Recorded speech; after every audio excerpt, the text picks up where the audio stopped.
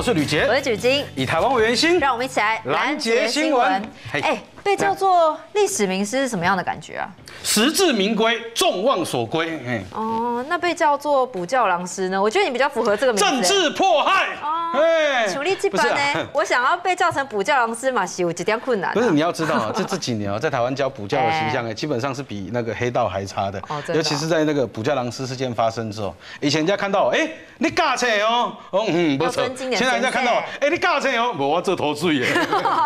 好了，我们今天特别要邀请到你的竞争对手，还有千禧世代的孩子们。嗯，哎，你知道，毕竟时代不一样了，我们人在进步啊，我们也要知道现在孩子到底在想些什么啊。你知道，从台湾啊，我们台湾从抗疫啊，都受到全球的瞩目。那还把我们的护国神山啊，半导体供应链啊，身为台湾人，是不是感到很感动、很骄傲？哎，但是下一个世代的年轻人呢？哎，这个想法有没有延续我们的光荣感？我们今天呢，一起来讨论。首先，先欢迎节目来宾。来，首先我们来欢迎我们说美女老师。你知道她教的科目呢，是最忠诚的。你以前亏过人家是不是？没有啦。你要知道她教的科目，这不各科目不容易啊。你知道，所有人都有可能会背叛你。对，但是只有数学不会，因为数学不会，它就是不会。历史不会还是不会，物理不会也是不会啊。来，我们第二位，我们说，哎，第一位刘静老师嘛。那第二位，哎，我们的朱天健老师。你光看发型就知道，留的跟爱因斯坦一样。没啦，爱因斯坦啊，你贝多芬呐，有没有一看就知道物理天王？哎，哎，你刚刚私底下不是跟我讲说，他最这几年变胖了不少，跟你一样。哎，我当年认识他的时候清瘦。哎呦，哎呀，风流倜傥，是不是？所以我们等下来问他跟女学生有没有暧昧的关系。哎呦，再来第三位，哎，我们的立法委员高鸿安。哎，很多人看到他以为他是立法委员，你知道他当年呢也是我们补教界的同仁，有误入歧途过是不是？呃，曾经曾经，但没有被人家说。那我接下来来欢迎一下学生代表们哦。首先来欢迎台大学生黄傲天。大家好，我是黄傲天，我现在是台大图资系双主修社会学系的学生。那跟大家分享我的三个关键字，第一个是新闻，我未来想要做的是新闻媒体类的工作。那第二个是荷兰，我之前曾经有到荷兰去当过交换学生。那第三个是。陌生人，我还蛮喜欢跟陌生人聊天的，不管是在酒吧或是在什么样的情境，所以今天很开心可以来到这个节目上，跟很多不同想法的同学们一起交流。谢谢大家。好，给你一个关键字，想要念新闻系的话，赶快转行哦。另外的第二个学生，清大学生周永晴。好，大家好，我是周永晴。那我目前就读国立清华大学教育学习科技学系一年级。对，那虽然我读的是教育学相关的学系，但我的兴趣是研究呃政治以及战略相关的议题。好，再来是正大学生张静湖。哎，大家好，我是张静湖，我目前就读政治大学传播学院一年级。那我的兴趣就是传播学院。那我曾经在高中的时候是热映社的公关，那时候玩的非常夸张，在校成绩曾经达到校排百分之一，倒数百分之一，非常厉害。毕业典礼前一天才相当惊险的拿到毕业证书。哦，静湖同学可能差点被爸爸揍死哦。再来是台师大学生张颖珍。大家好，我是师大国文系，然后目前我在辅英语系的大三。那我的兴趣就是我喜欢，我非常喜欢玩游戏，然后也很喜欢看动漫。然后我今年是师大人文电影节开幕式的主持人，同时也是节目策划部的部员。那也是今呃去年在海峡两岸辩论赛的师范大学队的选手。对，谢谢。好，有机会变成未来电竞高手哦。再来是世新同学高敏杰。大家好，我是高敏杰，我目前就读世新大学新闻系三年级。我的专长就是叫便当，还有吃外卖跟吃宵夜。不好意思，叫便当算是一个特技吗？是，这是一门学问。你死我一天，你什么讲？OK OK OK OK。对，然后同时我也是一个 P 图大师。对。这个我也很厉害，这个我也可以。你们那个是修图软体。啊，台积电讲哦，得人才者得天下。那台湾最宝贵的，哎，就是我们这些孩子、这些人才，他们都是国家未来的栋梁。只是这几年，哎，很流行要到国外去哦，不管是啊留学啦、游学啦、交换学生啦，甚至是打工度假。好，到底打工要打什么工呢？现在很多同学真的是蛮跨界的。哦大家，哎，我们刚刚说到人才，对不对？是啊。人才其实有很多面向。你电竞选手也是一个人才，没错。当 YouTuber 也是一个人才，天生我材必有用吗？对啊，你想要做三百六十五行之外的哪一行，可能这些都是未来的人才。很多人说啊，现在读书可能不见得真的有用喽。哎，很多人好好奇说，那我到底薪水怎么样？毕竟要自己自我定义嘛。嗯，你第一份薪水多少？老实说。你问的是打工还是有正式上班的？正式上班的。正式上班的一个月看 case 啦，大概在十五万到十八万不我靠，你等。诈骗集团。那如果以补教界老师来讲呢，你第一份薪水多少？其实我们说实在话啦，我刚踏入补教界的时候嘞，我的薪水其实还蛮高的，就是我们的钟点费还蛮高的。后来我才知道为什么他会找我去上课，是因为那间补习班快倒了，没有人愿意来上课，所以他就硬拉着我去上。然后那时候他开的钟点还蛮高的哦，但是你领不到，为什么？哦，因为他要倒了嘛。。对，哦，哎所以你算是运气还不错。你刚开始，其实我算 OK 啦，嗯我在补教业路走的算坎坷而已啦。好，我们就来问一下我们的同学，因为当然第一份薪水大家蛮 care 的嘛。好，你们第一份薪水期望是多少呢？请秀一下。好，四万、三万、三万到四万，哦，三万五到四万五，怎么差不多都是落在这个数字？好啊，至少比新本薪资好一点。但我问一下傲天，傲天你台大的呢？嗯嗯，啊，为什么不会想要拿高一点？你还双修呢？你双主修哎，为什么不想拿高一点呢？也不是不想，可是因为比如说我未来想做新闻媒体业的工作，那我也知道这个产业你写太高了，没有，这就是这是是理想，这是理想，这是理想。你知道我严格帮他们算过，你知道在镜头里面看不到那些人，你知道吗？他们算下来时薪跟加油站差不多现在是。要他们回家是不是？你现在是要逼他们回家是不是？不是的，我们我们是实话实说啊。我尬车人，我当讲北沙你。哦，那你去实习的时候，是不是有听闻过？就是哎、差不多第一份薪水就落在这里。如果台大这个光环有用吗？就我的认知，应该是没有太有用，就大家都是从同样的位阶开始，然后就各凭本事，自己努力。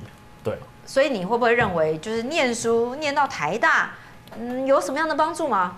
呃，我觉得其实帮助还蛮大的耶。就算你念的东西可能不能真的实质转换成金钱或者你的薪水，可是比如说他对于你把你这个工作本身做好，比如说我想做新闻业，那我这个新闻可不能写得好，我能不能报得好，我能不能把这个东西变得看得更宏观、更全面，这些都很仰赖我在学校里面所学习到的，不论是社会科学类的知识，或者是进行一些逻辑思辨，去训练自己的一些表达能力跟观点。我觉得这些全部都还很有注意，而且我觉得在学校念书还有一个很重要的事情是结交到各行各业、各式各样不同的朋友。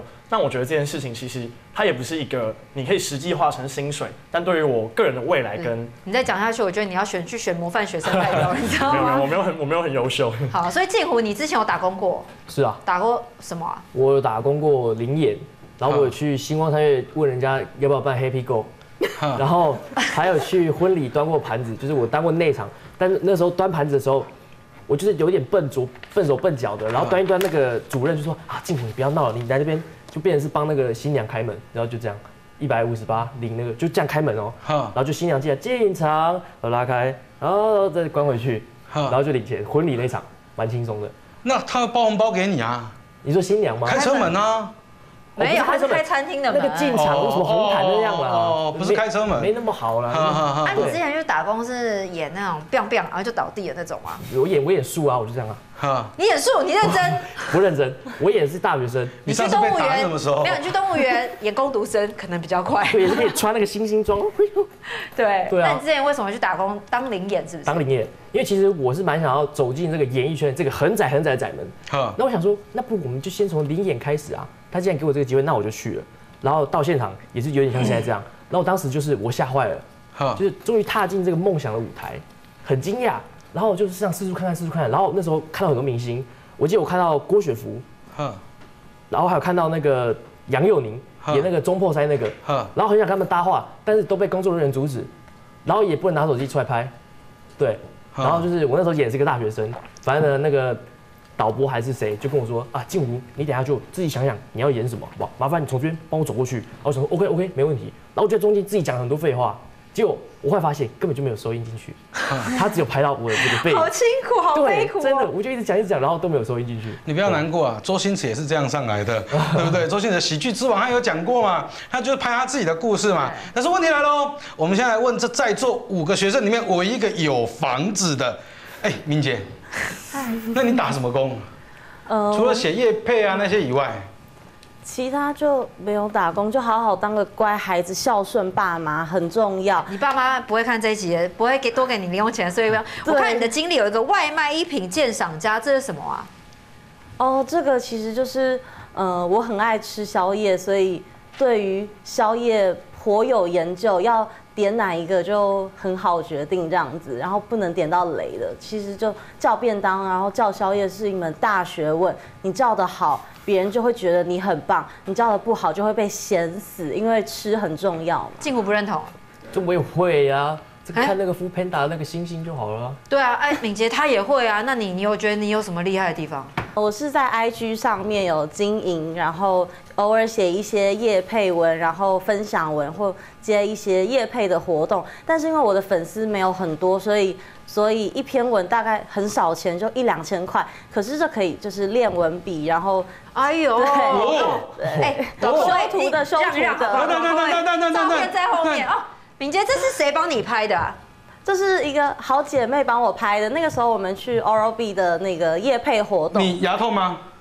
对，跟大家分享一下，拍照哦有很多小配包，就是牙痛、头痛、肚子痛，或是手啊，然后有骨折怎么样的，就是你只要摆出越夸张的动作，你的照片就会越好看。不可以怕尴尬，一定要动作越大越好，这样子也比较好修图。你可以然后不要秀一下吗？要怎么样摆吗？就是你可能要这样子遮脸，这一招真的很好用。你把你一半的脸挡起来，修图就会比较省事，或是把手这样子摆开。有啊，把他脸遮。起来啦，但我觉得没什么差哎。对，呃有用哎那，就是没有没有，有用你这样遮不对，你这样遮不对，你要怎么遮你知道吗这样啊？你要这样子。其实不多啦，可是就是因为像有一些化妆品的业配，他们会呃像是互惠，他会免费送我一些化妆品。就是我就可以减少那些的支出，然后可能一篇文有一两千的收入，然后每个月大概是一两篇，因为我也没有很积极的接，我都是随随心所欲，开心就好。对，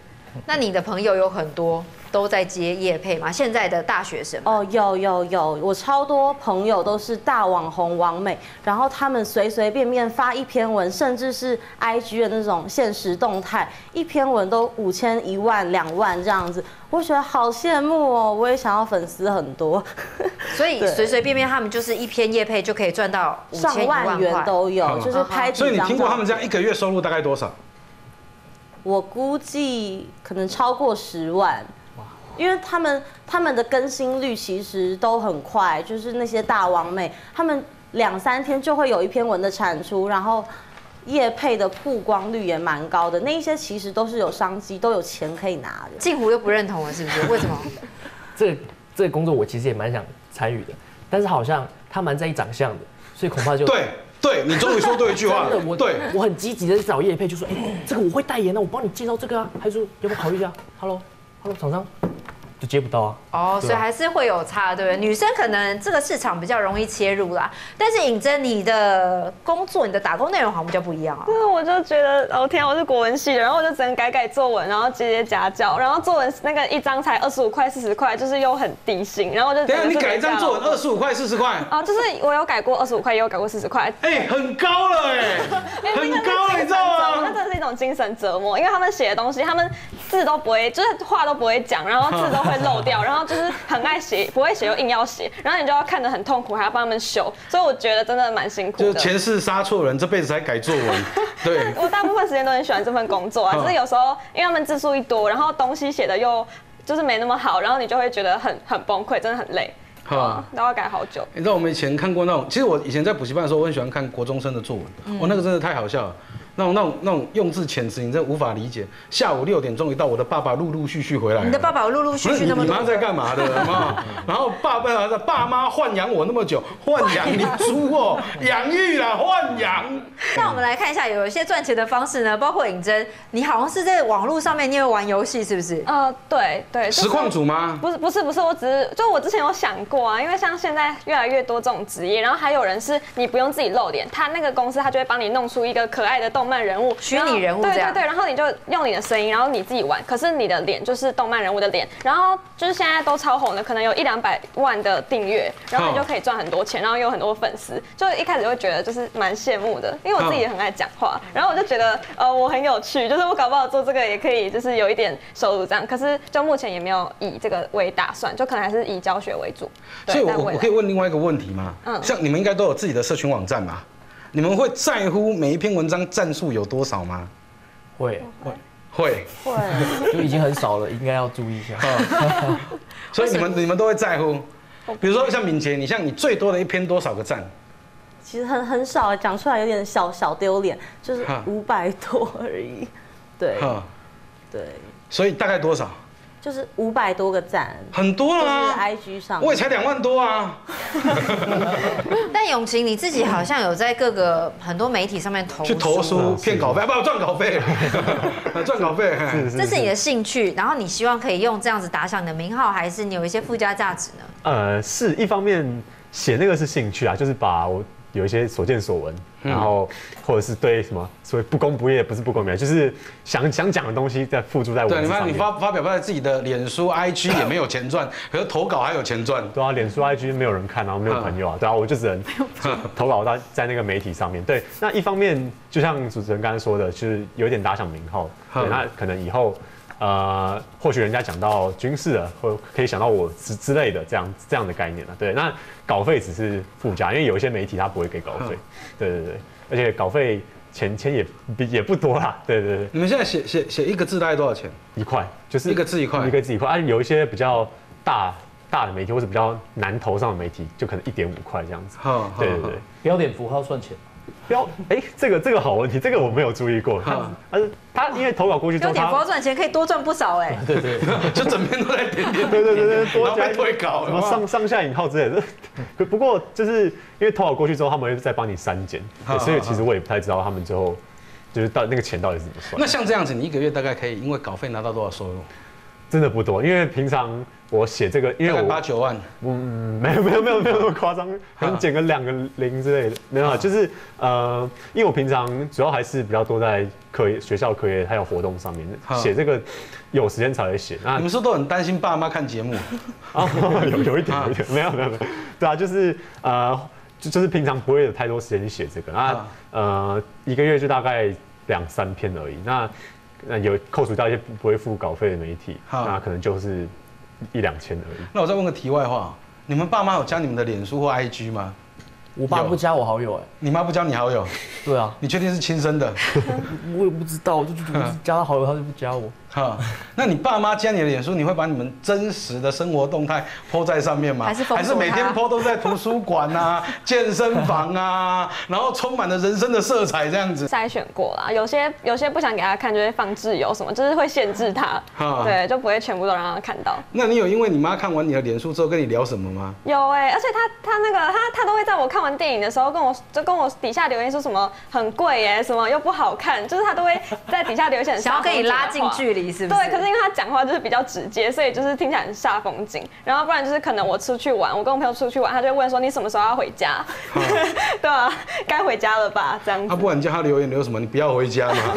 没有啊，就是他都他会表达他的关心，对，就是看借由那个然后了解我的生活。嗯，所以没有同学有比较特别的打工吗？看娃娃机的，呃看娃娃机夹娃娃机不是因为没有人看嘛，就有些有些人会去去哦，偷娃娃机，然后抽那么零钱什么打所以他破等于在那边当保全的意思对，他就坐在那边看他滑，看那边滑手机，然后就时基基本时薪一百五。那如果如果有人真的砸娃娃机，他会怎样？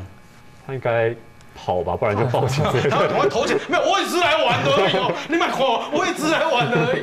因为现在时代蛮不一样的吧？好，问一下同学们，因为现在跨界啊，什么都可以红，什么都可以赚钱，你们觉得学历还是重要的？请举手。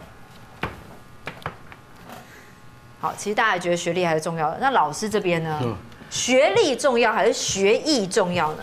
朱老师，学历比较重要，好，因为学历跟学艺这两个东西其实是相辅相成的。是一间好的大学为什么是好大学好？其实就在于组成的学生分子。嗯那你你你你今天我我先讲求职这一块啊，是像我同学本身就是在科技业担任高阶主管，然后负责面试这一块，嗯。他就曾经跟我讲过，呃，他们哪些人来面试，除了这些学校之外，其他不收。对，连面试的机会都没有，好这么严格啊？真的就是这样子。因为我是教自然组的嘛，那科科技也有他们自己的一个我清大帮，我教大帮，对对，一个规范。嗯。嗯，那再来我们讲到学生求学的这一块，像我看在座都是名校的这个同学，嗯嗯，口条逻辑能力都很好，嗯。我相信有很大一部分是跟他平常的同学啊讲话交流意见的时候，同时被训练出来。嗯因为好的学校就是好的学生在组成嘛。那我我们大家拼命的念书，我们我们要的是什么？其实学生很很多人跟我问说，学物理能干嘛？嗯，OK，那对日常生活没有太多的帮助。可是我们在解题的时候，训练出来的逻辑思考能力，哎，没错，这是念书的时候可以获得的。那如果你很在意自己的成绩，你最后考到一间好的大学，在你周遭的同学都是跟你差不多 level，或者是所谓台湾顶尖 level 的人，其实对你的人生，对对你的成长是有很大的帮助。嗯，所以学历当然是比学艺重要，因为你没有学历的话，可能你去公司表现自己的实力的机会，连入场券都没有。对对对，真的就是这个样子那。红安你自己找助理呀、你会看一下学历吗？呃说实话一，定一定会看啦，因为嗯其实学历来讲的话，就是像刚刚老师说的，就重点是说他怎么样被培养起来。那还有一个，我觉得刚刚有讲很多，但我这边补充一点是说，当时可能在争取要进到，不管是说进到名校或者继续求学，其实他的企图心是不是足够的？企图心跟能力，我觉得这应该是很多呃比较实务上来讲，业界在找人才的时候，他一定会考量的部分。因为我们都觉得说，其实现在学校老实说，就是学校教的东西很多是跟业界要的有学用有很大的落差。嗯所以其实很多时候都是到了业界进了进来第一份工作之后，我们才在工作当中去培养、去教教育这个这个新来的这个新鲜人。所以如果说他今天他的能力或者他的逻辑，甚至是他的企图心不够的时候，那我们就会觉得，哎、这个种子你埋进去之后，可能在培养上面会比较辛苦。所以我想业界可能很多是在讨论这个部分。那当然学艺部分可能就是其他的加分项，比如说，嗯哎、这个人应征工程师，可是他可能突然，哎、他对于公司的一些品牌或形象的行销有帮助，那这个我觉得是可以加分的。刘静老师呢？我是觉得都重要。哈，哦，但是我觉得呃还蛮多，就是以大部分来说，真的就是学校会跟一个人的态度有很大的关系。是就是什么意思？呃，大部分真的比较认真的同学，哈，他当然就比较容易考上好的学校。是那他在面对不管是念书或者是其他，不管生活上的问题或什么，除了比较有逻辑性的思考之外，也就是态度很好。就那个积极的态度，我觉得是很重要的。嗯，不管是作为一个学生，或是作为一个生活上工作啊，或者什么都，态度我觉得是决定一个人的关键。对。你现在你现在年轻人跟我们不一样哦，他们现在可能、哎我担心哎、我毕业之后怎么办嘛？对不对？我毕业之后怎么办嘛？我记得有一年政府有做过嘛，就是十大民怨排行榜，第一名是交通混乱，嗯，第二名就是房价过高。那我常常在我们说，我常常在大专院校演讲，很多孩子也问到买房子的问题。那老师，你有几间房子吗？啊呃没有，因为我我如果心情不好我就买车，哦我心情好我就买房子。哦哎，我只是喜欢玩大富翁而已，没有啦。这是你知道，我们说十大名媛排行榜第二个，哎，那就是买不起房子。那我常常在演讲的时候，很多年轻人问我说，哎，老师，我们年轻人买不起房子怎么办？那吕副总统，哎，我们说这个吕秀莲他曾经讲过嘛，年轻人本来就应该买不起房子，为什么？因为当你在累积社会的过程当中，哎，哎，你才有办法一定的财力、一定的资产、一定的能力去买房子。但是问题来了，这个是我们说，哎，美丽岛世代的想法嘛。那零零后的想法是什么嘞？好，很多人说买不起房子没关系，我爸爸妈妈有给我房子啊。好，我们来做一下调查好了，手上有爸妈给你的房子的，请按圈。啊，我们今天找到的是比较清苦的孩子们啊，不是现在通常大家是名下都有房子，然后明杰你爸妈已经有给你房子了，是不是？嗯，就是爸妈从小都有帮我做规划，我真的非常感恩，好。是真的需要蛮感恩的。很感恩那。我们我们这样讲啊哈，像傲天，你觉得你像你现在现在大五嘛，对对不对？你觉得你打算在几岁的时候，你认为你有能力买房子？好问题耶，呃，我自己会觉得一定都是三十岁以后，不会那么快。哈，对，你对你的未来那么乐观吗？好，我没有那么乐观，可能要啊更晚，说不定。哈，那哎、那尹真呢？尹真，你觉得你几岁有能力买房子？应该跟傲天一样，就三十岁以后，嗯，但是你觉得我？我觉得就是人生最后的尊严是买个塔位，不是房子。嗯，就是我没有啦，我觉得就是因为我自己也是会想要找那种比较高薪的工作，好，因为现在很多孩子其实觉得，哎、我租就好了，我干嘛买房子？然后背房贷，我还那么年轻，干嘛那么累？我们来做一下调查好了，会想买房子的请按圈。哦，其实大家还是都蛮想买房子的，是不是？这个买房子的观念呢，是谁给你们的呢？近乎，买房子的观念是爸爸吗？爸爸叫你加入民进党，然后叫你买房子，你就想当然加入。又是我爸，毕竟在他的威权统治下，你肯定得听他的。哦，为什么？爸爸怎么样跟你讲？爸爸就说呢，就是他就拿瓜牛来举例啊。好你你有看过没有壳的瓜牛？那就不是瓜牛，那叫阔鱼啊。那你跟他讲啊，我是寄居蟹啊，为什么一定要当瓜牛？我要当寄居蟹不行吗？但寄居蟹它总是要去找壳的啊。你可以租啊，哎，有道理。而且你没看过寄居蟹用瓶盖的吗？他 呃，他的意思不是叫你回去忤逆你爸啦，但重点来了，你爸爸这样讲的时候，你会不会觉得压力很大呢？因为毕竟你妈还没在工作。压力是蛮大的，再加上我读这个科系，我觉得我恐怕会买不起房子。为什么？就是传播科系啊，万一我以后读了什么什么新闻系之类的，这样也不是说就是真的，这个科系恐怕新闻能赚很多，新闻能赚很多。对啊，就以后可能会买不起房子，或者甚至还要再继续住家里的房子这样。嗯，对啊，好，那永晴有想要买房子是不是？谁给你的观念？自己给的观念怎么说？对，就是想要有一个自己的窝。嗯，那你知道现在窝很贵吗？嗯，很贵，很贵，很贵。哦，那你要怎么办法有弄到自己的窝呢？啊，就是跟爸妈借钱吗努？力赚钱。呃，能能的话，我当然想啊，但是 但是还是先努力赚钱。嗯，上车上车。好，那你们知道现在房贷很高，未来会不会觉得，哎，可能租就好了呢？还是以后想要跟爸妈住在一起呢？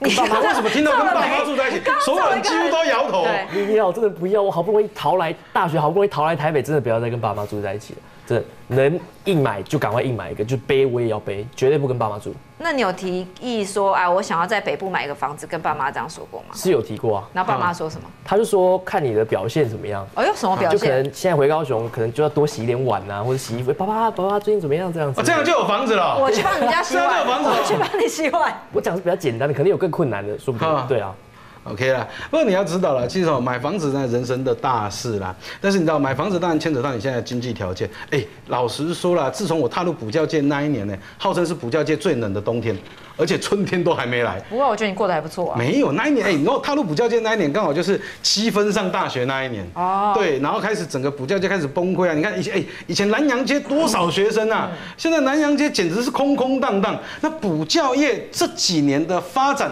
到底好不好嘞？朱老师，呃，非常不好。啊，老师刚刚眼泪跟我们一样，也要落下来了，是不是？呃，第一个当然就是少子化的问题。是对，那因为我我本身服务的补习班是比较大型的补习班，嗯。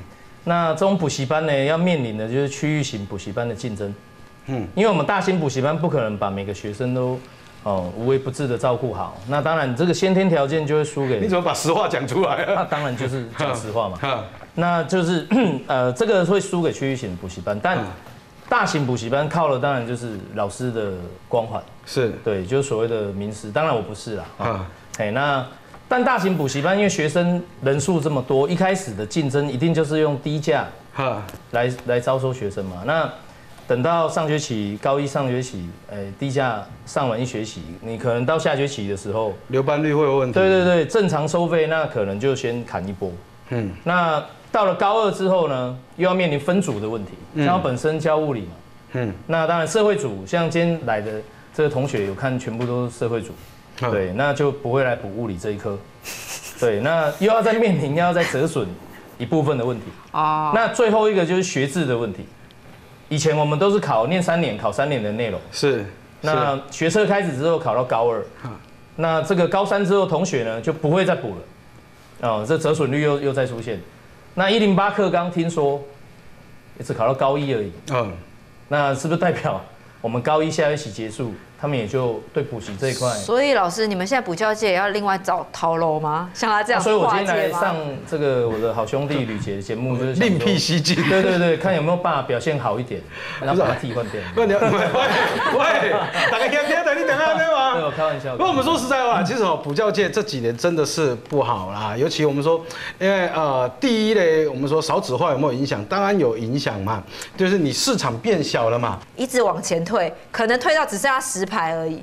就像现在我我讲了，因为考试制度变得简单，那所以对补习这一块的需求真的就是就降低很多下降很多。像我当年联考的时候，录取率是三十趴，三三十趴，啊，那真的叫大学的窄门了。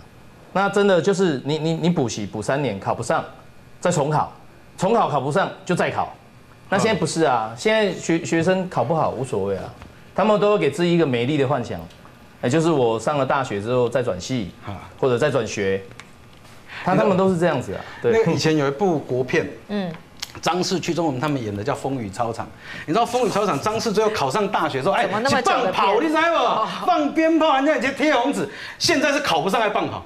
大家拢有调，多你无调，你看搞，你看搞，七分就调啊，你可无调，嘿，你在搞。但刘静老师，如果你们看啊，因为你是数学嘛，毕竟有自然组也有数学啊，社会组也有数学，感觉起来你什么都吃得到嘛，对不对？那你的会因为少子化的关系受到影响吗？我觉得数学相较自然跟社会应该是好蛮多的，因为毕竟就到还是很一定要选的科目，自然组、社会组都是。那我觉得少子化有另外一，就是因为可能生的少，然后有很多家长就是非常觉得自己的小孩就是更是弥足珍贵，嗯所以可能也会去找呃，比如说一对一啊这种，就是花真的蛮多钱，可能也是团，就我们可能收团班的钱这种。是，对，所以其实如果老师呃偶尔接一些这个，其实那个钱也没有比较少。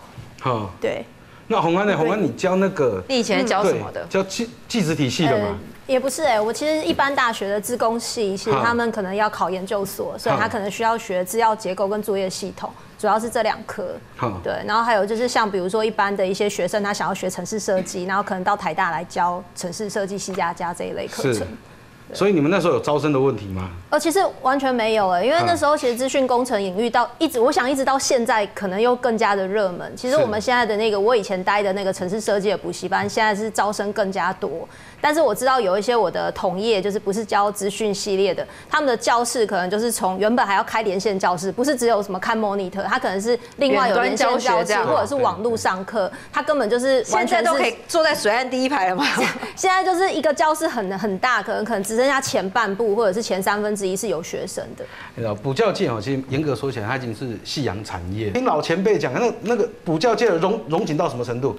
那个是你的钱夹着报名表，然后用那个橡皮筋卷捡起来，然后就丢进去。哎，李杰，帮我画个位，然后把钱捡起来。哎，没位啊，给填出来。好，不过很多人说啊，现在房价这么高，怎么办呢？我真的买不起房子，甚至呢，已经变成一个严重的大问题，甚至还变成国安危机吗？对，其实居住正义本身其实已经俨然是成为国安危机。为什么呢？其实我们在去年看到有一个现象叫生不如死，就出生率其实已经低于我们的死亡率哦。去年出生是十，去年出生十六万五千人哦，嗯那去年的死亡率是超过十七万。所以其实代表的意思是说，其实现在少子化已经变成是一个很重要的问题。但是我们回头去想一下，为什么年轻人他不愿意结婚，不愿意生小孩？其实这里有一个调查，因为他整天都在玩手机啊。没有啊，超过六成五的年轻人，他们是表示说，因为买房子买不起。为什么？大家可以考虑一下，是说，如果今天我是呃一个年轻的家庭，我想要结婚，那我势必我可能就要买新房。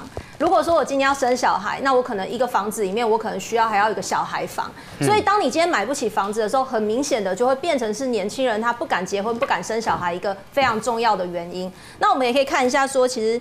超过九成五的年轻人呢，这个地方他其实是有提到，是说他觉得现在目前台湾社会的房价过于高，所以造成其实年轻人他们也觉得买房子是一个他们就像刚刚同学们讲的，其实他们很想买，可是他们也不觉得自己有办法可以在三十岁买到自己的一间房。所以在这部分的话，其实我们在立法院确实有在做一些相关的政策修法，包含说我们第一个可能要在我们的讲说，呃，可能在囤房税率的部分，希望能够把它降低，因为其实这个就是一个市场供不应求的供供过于求的问题。但是当今天供给多的时候，我们怎么样把这些所谓的有些投资客他买了房子，他不是拿来住，他是拿来要去做投资做卖的。那我们怎么样在税率上面让这样的现象可以降低？第二个当然很重要是在社会住宅的部分，嗯也就是说让那个我们国家能够用一些政策、用一些预算来把这些社会住宅或青年住宅可以更加的新建。所以我们有一个口号，就是叫八年要有二十万的社会住宅。嗯那目前的话是进度稍微落后了，所以我们在立法院就要去监督，希望说政府在这个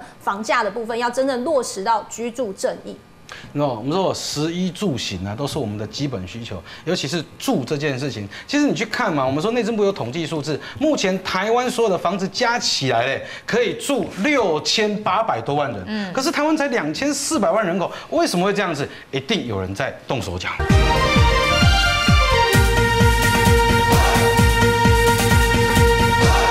你知道老一辈的人呢、啊，在喊着要反攻大陆嘛？那他们觉得嘞，哎、你知道现在对学生来讲，哎、反攻大陆就写的攻杀会，因为他们一出生的时候嘞，台湾就是现在的台湾。哎好，所以很多人很好奇说，在这个世代的孩子里面呢、台湾人有所谓的天然毒吗？好，因为我们来看一下，有数据统计哦。这位哥，你让让，你把爸挡住了，谢谢。好，这个年轻人的天然毒呢，其实是反统一。好，支持统一的比例呢，比四十岁以上的人还要来的低。好，你看中间这个棒棒特别高是是干嘛呢？维持现状。所以很多人都觉得啊，这个维持现状呢，可能就是现在台湾的观念啦。不过你要知道，我们说以前呢叫天然毒，嗯可是现在孩子他们讲叫天然台。他一出生，台湾就是台湾哦，他们就拥有了民主、自由跟人权。那问题来了哦，统一在台湾还是一个不可忽视的声音与力量嘛？来，孩子们，你们会支持统一还是独立？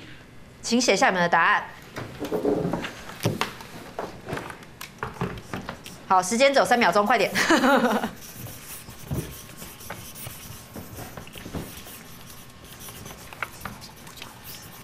好，请秀出你们的答案，我们来看一下。哎，这个哦，永晴写反统一，那傲天写着反对被统一。现在这样哦，近乎就是现在年轻孩子的观念呢，就维持现状啊。尹真直接写独立。好，另外呢，敏捷是天然独。哎，建儒，你为什么主张就是维持现状？我吗？对啊，就是因为呢要不你改名哎呦，我们我们从小我们出生的时候就已经是现在这个状况了。是对，然后加上我又是社会组，哈我自己很喜欢历史，然后就是从中国那时候蒋公就是那个什么革命那时候到现在，你讲到蒋公应该要先立正，你知道吗？对对，就到那个，然后抗日啊，什么军阀那些的，就一直到现在都是一样啊。我们还没有经历过被大陆那个统一的时期，然后我们现在这样子，其实也过得不错。那我们何必一定要去站在某一边？嗯我们可以站在那个线中间，也是不错。OK，那这样子傲天，我们来问一下，你们就是毕竟念台大嘛，里面会不会参加社运的孩子特别多，或者是大家会讨论政治吗？我觉得还蛮多的，就是看怎样叫做参加社运。比如说，如果我会上街示威游行都算的话，其实我觉得台大的学生参与度蛮高的，而且在我们学校，比如说脸书上的台大学生交流班，每一天都在讨论各式各样的政治议题，就是从政治人物的八卦到真的是政策类的议题，大家全部都讨论热度非常的高。政治人物八卦，那有讨论到红安的八卦吗？应该曾经有过，对，对，应该是不，应该是一段时间之前，好像有报过跟衣服有关的事情吗之类的。哦，好，那敏捷这边呢？为什么你们是直你会直接觉得是独立呢？你觉得你自己是天然独吗？对，就是因为我们从出生到现在就会觉得，呃，我们活在台湾这个民主的国家中。可是我觉得天然独不一定，也就是要独立，也是偏向于维持现况。对。不过你要知道了，其实哈，不管统一还是独立啊，其实年轻人讨论政治，这其实是好事。为什么关心我们的土地，关心我们的国家？啊但问题来了，我们在补习班教书会，你不能明确表达你的立场。哦但是呢其实有时候我们常会去关心学生他们在讨论什么。哎、那你以前在台上有没有不小心讲出这个论点，然后被抗议过？我倒是没有啦，为什么？因为其实我们上课的时候呢，我们会有我们的立场、我们的论点，这个其实是很正常的。以前媒体不是说嘛，要客观中立嘛，现在叫尽量不偏颇的报道，一样的道理。我觉得脸上写的写心虚两个字。哪有？哎，朱老师，你遇过学生怎么去讨论政治，还要吵闹吵架的吗？现在的学生就，呃，应该讲没有，好完全都没有讨论到政治哦。哎、很少，除非是被带到风向了。哈，因为他们现在对政治的看法，其实就是一个潮流的问题。是。你是说是大家在讨论什么，可能他就是是是 follow 了这个呃，像现在学生只要中堂下课，手机就拿出来划嘛，所以他们的注意力其实都被分散掉，哈每个人喜欢的东西都不一样，所以很难有共同的话题，除非像呃前阵子高雄市长的选举，哦。那可能才会有听到一点声音，或者是反送中的那种情况，哈哎、可能电视每天在对报啊，大家会来讨者是川。普啊、拜登在选举的时候，可能才会听到一点点，但是结论出来了，这个声音就消失。你自己本身是立委啊，你以前在上课的时候有没有看到学生在讨论啊，甚至讨论到吵架的？我是觉得这个可能会跟教的科目，还有包含不同的学校，其实会有很大的关系。像我自己在教写程式，写程式应该没有同学会跟我讨论到政治的问题。那所以其实，在下课的时候，大家聊。色要用绿色的还是蓝色的还是哎，红色的？这个对，这个可能有一点点政治敏感，但是在我们以前的这个年代，其实并不太会去对于这种颜色啊，或者是政党有这么大的一个区别。是现在的话，可能就是像我的一些我们工程师，有些人就会在写程式的时候，他后面 compile 的颜色，他就一定要用绿色，嗯或者是一定要白色、黑色，那嗯他们会有他们的理由。我觉得这个倒是比较不会在理工相关的科系，这个讨论政治的程度是相对比较小一点。你知道我以前有在上课的时候，有一年二零一四年，那时候蔡英文跟朱立伦在选，嗯那我两个学生，一个支持蔡英文，一个朱支持朱立伦，嗯然后两个就吵起来，而且他们两个是很好的朋友，然后吵到往上老死不相往来这样。然后有一次我看到我就把他叫过来，我说：“你认识蔡英文吗？不认识啊。你认识朱立伦吗？不认识啊。啊，你们两个为了两个不认识的人，然后吵到他妈兄弟都没得当，他个派。没必要，是不是？对啊我觉得老师可能对于这个学生的想法呢，可能是要改变一下哦。因为我们今天邀请来的学生呢，其实对台湾的未来蛮有想法的。永清，你觉得台湾未来会怎么样走呢？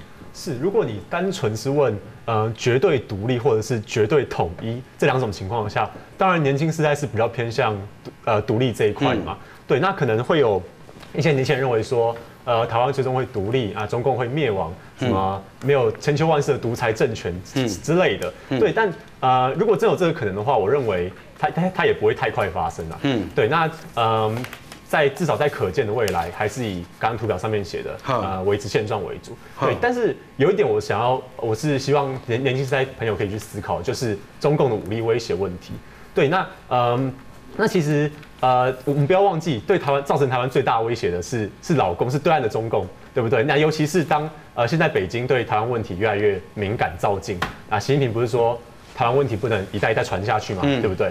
对，那再那再加上两岸以及中美他们在西太平洋的军力已经逐渐失衡的情况下，我们是更应该有所警惕。是，对对对。镜湖皱了个眉头，什么意思呢？我们要我支持他说的。哦，真的哦。大陆很可怕，大陆。不过你看，像我们新闻啊，每天在报说，哎，这个共机飞来飞去啊，对孩子们来讲，你们呢会觉得有什么感觉吗？还是飞来飞去也飞习惯了了？镜湖，我觉得是可能非习惯，就是有点像是 爸妈的碎碎念这样子。你要赶快，你要赶快怎样？哦，好了好了好了，就我们知道他实际也做不出什么事，这样啊我觉得啊。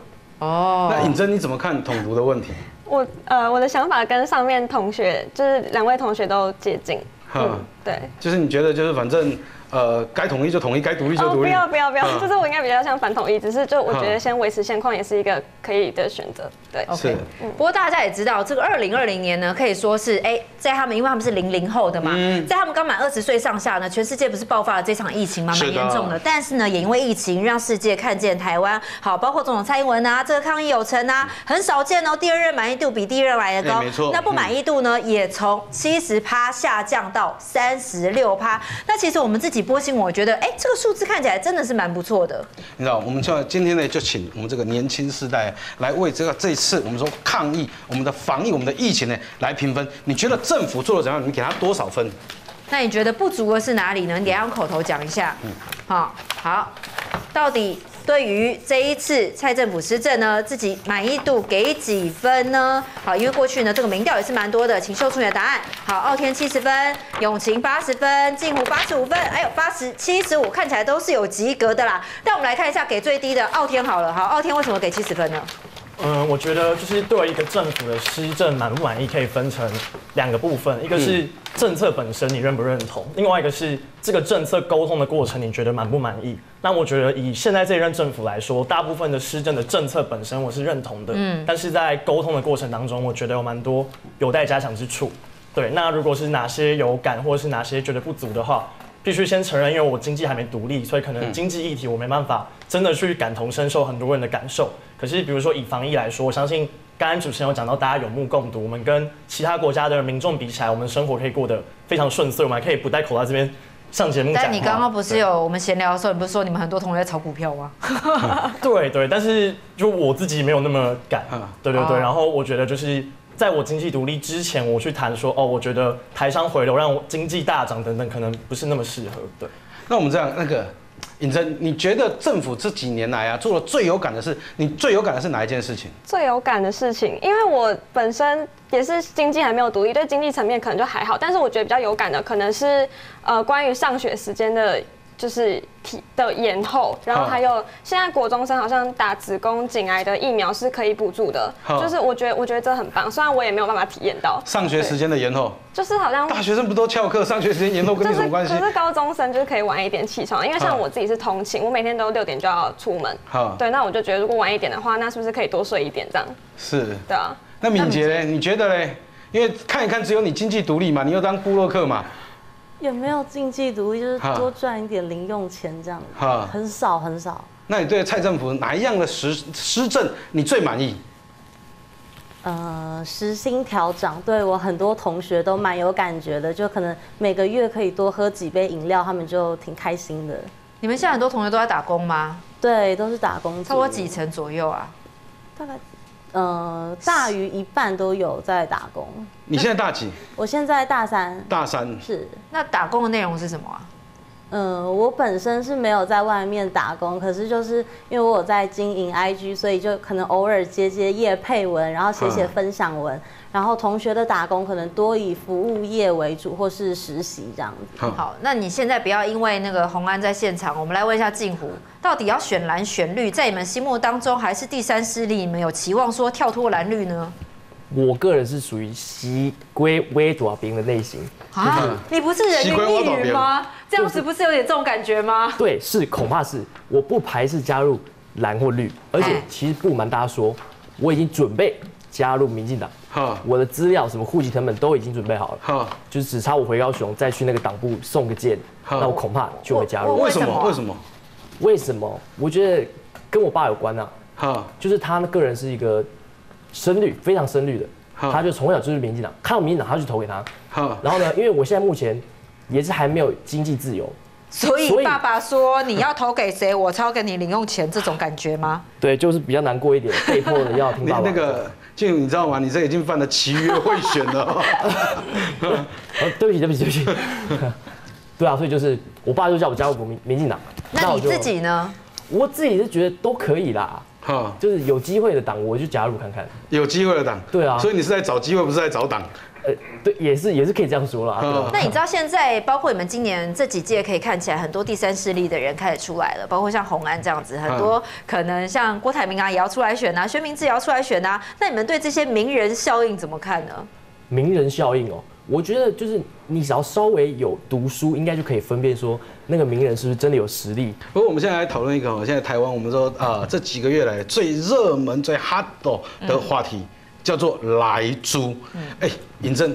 你对莱猪有你的看法吗？嗯，就是我觉得可以分几个层面去讨论。第一个是它对人体的伤害是可以减震的，它其实没有很实际的证据证明说你吃很多，就是你就是莱猪不一定对你的身体会造成那么大的伤害。第一，而而且它很快可以被代谢，然后再者是你一天也不可能真的吃到那么多那么多的猪肉，因为它的标准是说你可能每天你要吃六公斤，然后也连续吃几年，就是才有可能真的对你的身体造成伤害。所以如果你每天吃六公斤的猪肉对你身体造成的伤害，可能是胆固醇过高，而不是因为莱克多巴胺产生的影响。对啊，对啊。然后还有可能还有一个是，就是台台湾的国产猪是蛮充足的，所以你实际真的会吃到来做机会很小，因为可能进口的市场也不大，然后加上可能我们现在也会标产地嘛，就是你可以自己选说你想要怎样的。然后再来就是我觉得可以去思考的是，因为台湾就是一个很依赖贸易的国家，是对。那我们我们在这一块牺牲了，我们可以换到什么？也许我们就是，就是可以可能得到美国对我们的好感，让我们的国际地位提升。就是，所以我觉得就是不要制造恐慌，就是以讹传讹，可以去思考我们做了这个牺牲之后可以得到什么好处。相信政府会把关好，举手。啊，这两位你们是怎么样？就是没有不相信，但是也不敢贸然相信。对。但如果可以换来更多的贸易条件的话，你认为呢？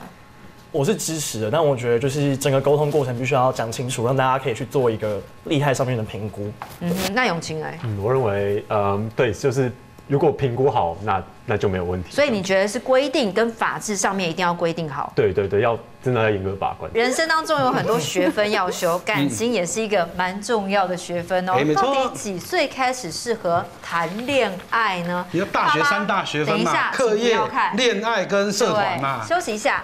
马上回来。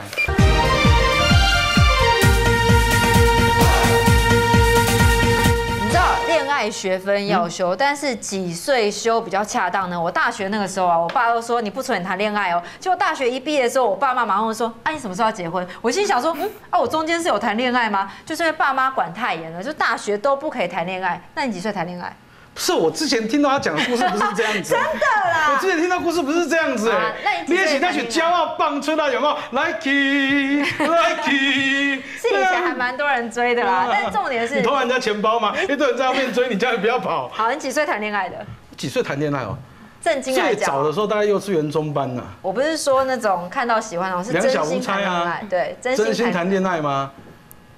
我二十三岁那一年，是老婆是不是？。对，哦，好，这个东西不足以我一生只爱，你一个为你甘愿牺牲一切，真心献贵的三明海水，山崩地裂。好，这一段要卡掉了，谢谢大家。好，我们就来看一下呢。其实现在年轻人呐、啊我们就有个数据来统计呢，哎，真的不婚不生很多哎，顶客族啊，不婚有生也是蛮恐怖的，所以不婚不生感觉起来还是蛮好的哦、好，我们就来看一下你背后这张数字呢，结婚对数逐年下降，出生人数也是逐年下降。现在年轻人呢，大家就觉得，哎呀，我干嘛我一人保全家宝啊，我干嘛那么样的辛苦，对不对？可能很多女生男女朋友交往，我还要讨论说谁要出钱，是不是要 go Dutch 或者什么之类的。我们现在现场唯一的已婚女性，红安你还没结婚嘛？还没那就是你了。你对于婚姻生活你感觉怎么样？好，我们来问一下同学们，你们现在有对象的 安全？感情不好 啦，都没有，我我算有，哎我们就只有只有那个敏捷有。哈，敏捷你说没有，我也不信呐。有啦有啦，真的有。有然后尹真也有，嗯，尹真也有。那你们两位两个女所以生，你们三个就传说中的棒槌哦。你不要这样直呼人家好不好？好，两个女生，你爸妈那时候知道你们谈恋爱了，怎么说？就其实没有怎样哎、就只会说哦不要乱来哦这样，就是嗯其他其实还好。那你会问他说什么叫乱来？对，会不会说呃能门禁时间啊，开始越往前？不会，我我妈就会直接跟我说我不想那么早当阿妈。哈，对对啊，但其实其实他们就比较开放，嗯，好，那敏捷，我我妈也讲一模一样的话，就其实我爸你第一次交男朋友什么时候？国一的时候，哇，你国一那时候交男朋友啦？嗯，而且还有带回家给爸妈看了。那你爸妈说什么？我爸妈就说先好好当朋友啦，大学还没考。然后我现在有交男朋友了，然后爸妈也知道，他们就是很开明啊，然后就会觉得说没有固定，的，不要再带回来了，是不是？呃，没有没有，他们现在还是会你呀想要 看一下看一下，对，要确认跟我交往的人三观是正常的，然后是好的这样子。哦，所以你爸妈的态度其实还蛮开明啊。那为什么在座的男生们都没有想要交女朋友呢没？有没有想要跟交不到是两码子事哦。啊，那是没有想要吗？没有不想要啊，随缘，缘分还没到，缘分还没到，缘分还没到到那。但我我们说实在话，我们刚才那个问题是有有有问题的，就是说有没有男女朋友、伴侣也算的话，OK 吗？没有，没有，那镜湖呢？镜湖镜湖目前是还没有，但是但是镜湖很希望有，所以可以联络一下。为什么很想要交女朋友？会不会觉得交女朋友可能对于经济来讲也是一大负担呢？目前没有担心到那么远啊，毕竟你先教再说啊。你从小到大都没教过，像我自己，国小好了，国小就是长得就是这样子不伦不类的，然后到国中以后更不可能。我们准备考高中，那到高中哇，那惨了，我读男校对我读男校，那死定啦、就全部都跟男生混，然后。上大学以后变成是说，我连跟女生都不会讲话。我还记得那时候开学第一天，就是新生训，就有女生跟我说：“哎、你这穷穷的哦。”啊，我说：“哦，我你可以去 Seven 练习啊。跟店员跟店员聊天。对啊有我都在家跟我阿妈练习啦。哈，所以如果你现在有一个女生你喜欢她，你要怎么表白？如果有一个女生我喜欢她，要怎么表白？哈，好，我可能就打电话给她，我可能就唱歌给她听，你唱什么？可能就唱林俊杰，毕竟我是说我是指南路林俊杰，来来来，唱唱唱来听听我可能看。就打给她，嗯就说，喂，小慧，有件事，我想告诉你已经很久了。你讲快一点好不好？爱情的心酸，学会放好以前的渴望。我们那些信仰，要忘记多难。金湖，你嘴巴有含卤蛋吗？你要，所以你要跟我去在一起吗？小慧，喂，小慧，来来来，好，掌声鼓励，唱的非常的好。哎，我们说实在话，有像啊，有像啊，对有像啊。哎对，但是尹正，如果如果男生这样跟你告白，你会怎么样？我会哭吧，势必接受我会感动到哭。我觉得因为我很浪漫，然后我就觉得哦天哪所以所以你你你 OK？，OK，对不对？很很有那创意换个，赖，换个赖。很有创意。敏捷 OK 吗？如果男生打电话给你告白，不行啦，为什么？就很没有诚意，感觉你好像是在搞笑，然后秀你自己的歌艺。就我会觉得，你要告白，你就真心诚意的好好告白。那你觉得什么样叫有诚意呢？而且你不知道他有没有开过，因为旁边一堆人在等着笑。对啊，那怎么样才有诚意？就是说，至少要先称赞我的优点，然后我要先。就是先确保他称赞我的优点是真的，代表他先懂得我的好，然后呢再说，我希望希望有机会可以跟你就是在一起，然后慢慢一起变好，这样子就是要很有诚意，不能在那边嬉皮笑脸。就嬉皮笑脸的话，感觉他可以一对多，然后乱枪打鸟，中了中了就好了，就这样。我觉得不可以这样子，对。那静湖为什么要打岔了呢？觉得没有办法这样吹捧他，是不是？我觉得这就是因人而异啦。毕竟有时候你要逼人家说谎。也是不行，就是 你该怎么样怎么样。哎，你要追他哎，你要假如说你要说谎吗？哦不，黄傲天，傲天你有台大周星哲称号，为什么会有这样称号？感觉起来女人应该还不错吧？没有，就是之前曾经参加过一些演讲，然后就会有一些高中的美眉觉得我长得很像周星哲，然后他们所以就有了这个绰号。可是我是音痴，我没办法，我没办法像镜湖一样唱的那么好听的歌。哦，所以有其实说实在话，真的有，比如啊像谁，人家有个 image。真的是比较好行走。你像那时候人家说我像严清标，都没有老师会当我。哦，不过你们现在谈恋爱谈恋爱嘛，那有想要结婚或生小孩的吗？啊，请按宣，请举牌。哎呦，哎呦，哎，好，我们先来问一下镜湖好了，为什么你又圈叉转来转去？都可以啦，就是顺其自然，船到桥头自然直。我们先交女朋友嘛。我跟你讲，我帮我帮你翻译，对，他就说，什么叫女朋友？因为还没有交女朋友，对不对？对啊。哦，好，那永晴呢？你会不会觉得，为什么谁给你的一定要结婚生小孩的观念呢？这也是跟房子一样，也是我自己想要，但是，嗯，会想要结婚，但不会想要生小孩。对，我觉得小孩来到这个世界上，好好好辛苦。对对对对，等他结婚的话，就是想要。像房子一样有有个自己有有个家庭啦，这样子，对对，有个慰藉这样。所以你想要结婚？嗯，想想想。那你不知道吗？婚姻是爱情的坟墓，所以我每天保持着扫墓的心情回家。不过永吉你自己有这个金城武的称号，感觉起来哎。这个帅帅的啊，女人应该还不错啊。那你是因为工作的关系还是学业的关系，现在还没有交女朋友呢？没有啊，女人缘这个这个这个算了，这个算了，因为我高高中是男校。好吧，算了，换个角度问你，那男人缘怎么样？男人缘男人缘还不错，男人缘还不错，对对对，就是遇遇到不少，要不不过啊，我还是喜喜欢是女生啊，这样子。对对对。那傲天为什么不想生小孩呢？嗯，应该也不是说我不想生，可是我觉得这应该是我跟我未来的对象两个人一起。共同讨论过的，就比如说我想生，那他不想生，那我会觉得这是就分手吧。因为我觉得这是我们两个要一起商量的事情，因为毕竟不是我在生，就是真的生也是她怀孕、坐月子、生产，就痛的不是我，所以会觉得就是应该顾虑，我应该以我们两个人为一个整体去思考，就我不能单方面觉得说要生或不生。感觉起来应该还不错。那如果说你未来另外一半，因为你以后想要去国外嘛，对不对？对。那如果你另外一半想说你要去国外采访，那不能去的话怎么办呢？你说他不能去还是我不能？就叫你不能去啊！我不会理他，我会，我一定会。你刚才不是说尊重？但是对我来说，我会把我自己的目标放在爱情前面，所以我也对就是结婚这件事情没有那么的一定要，因为我觉得他可能会变成我的羁绊。比如说我今天飞这边，明天飞那边，但他是他是一个外国女朋友好了，他只会在某一个国家，那我飞到别的地方，他还是一样。所以再找一个？没有没有没有没有没有 没有，对我可能不然就是找就是有开分店的概念。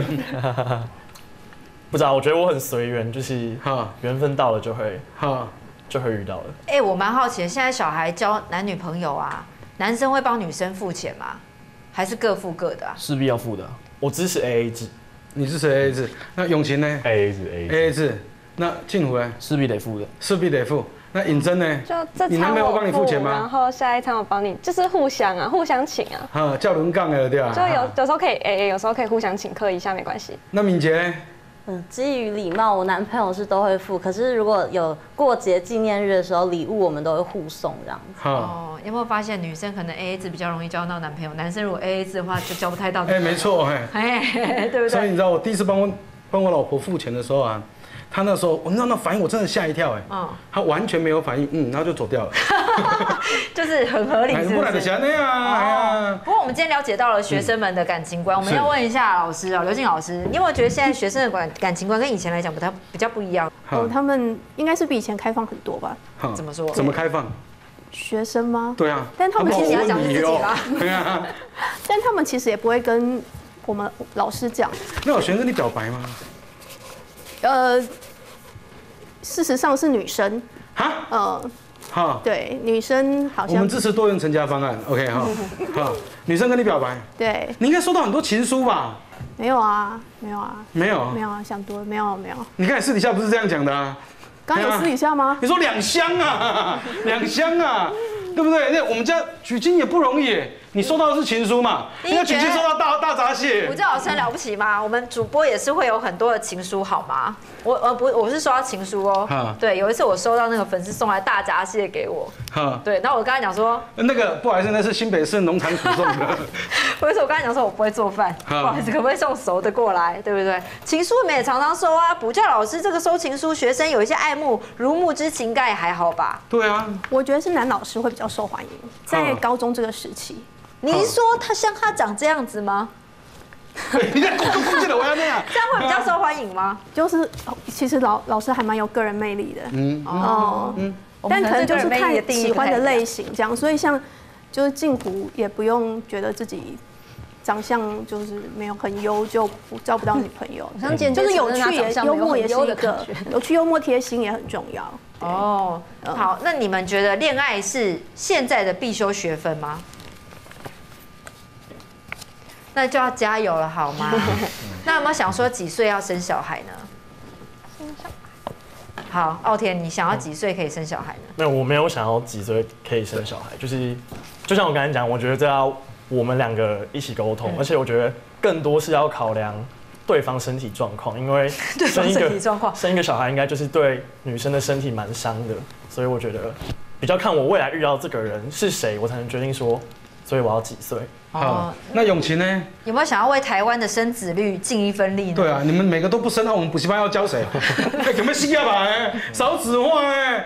我自己的话，我我我比较偏向不生啊，但呃，就像傲天刚才讲的，我我也是要呃跟伴侣就是沟通好。听姐一句劝啊，不生就不要结婚了，哈，OK。好，OK OK OK。那为什么不想生呢？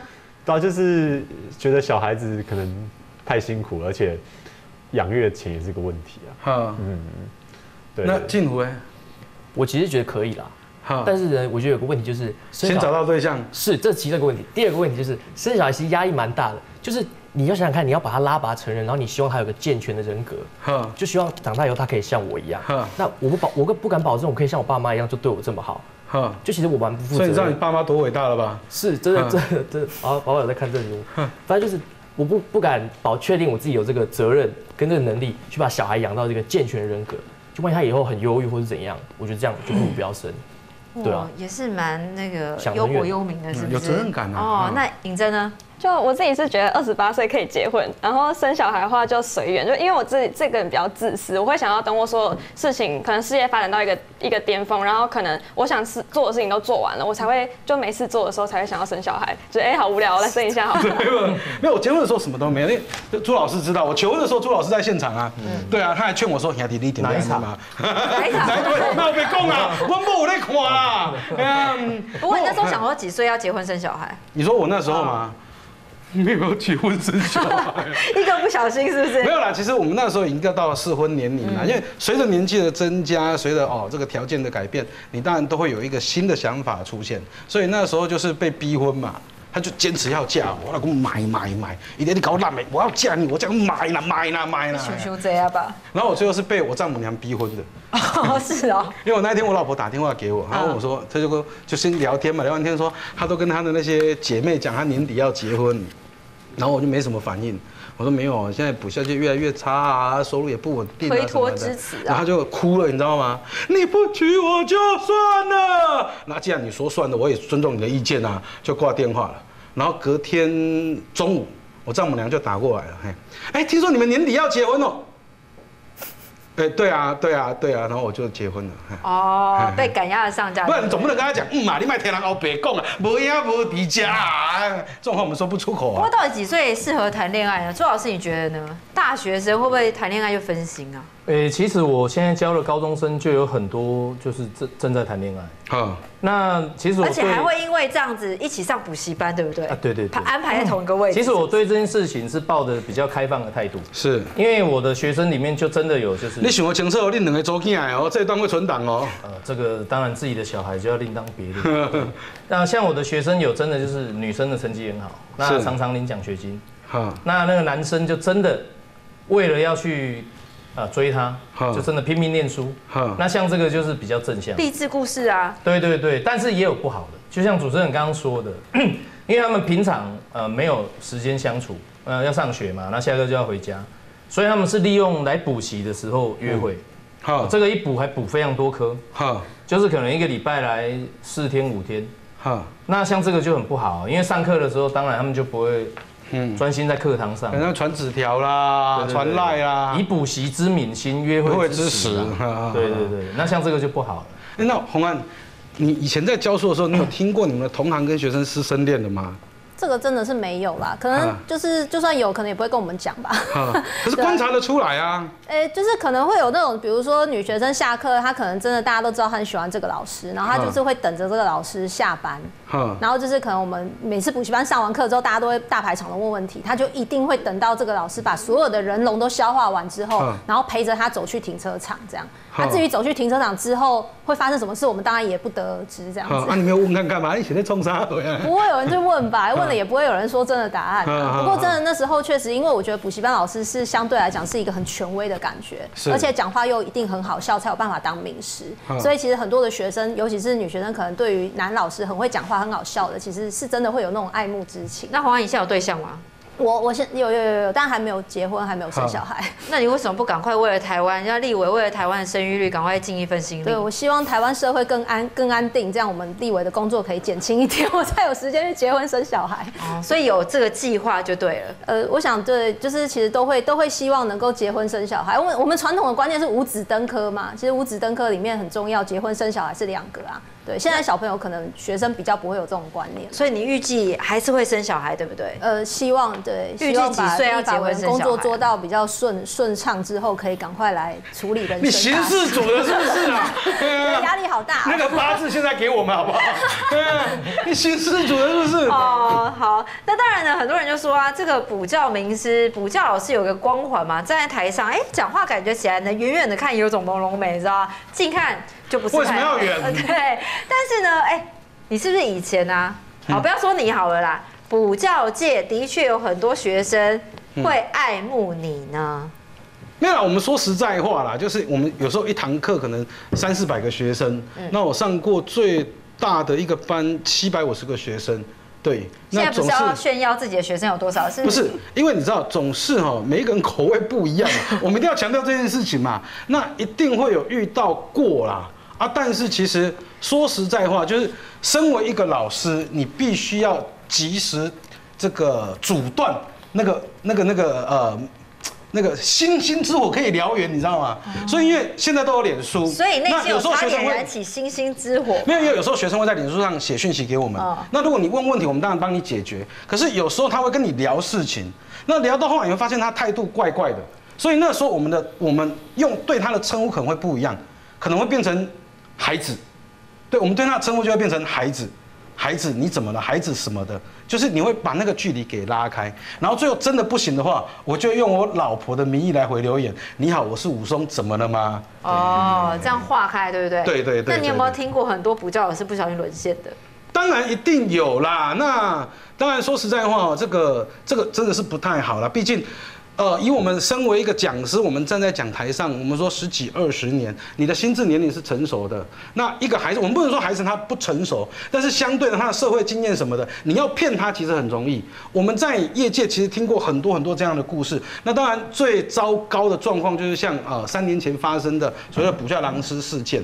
那近近年来，有时候我们在电视上打开电视都会看到很多这样的事情。但是我说实在话，我们是以教学为主，所以如果孩子有一些哎，你觉得他的行为可能逾越了所谓的师生的分际，身为一个老师，你必须要主动去停止这件事情，而不是让他继续往前走。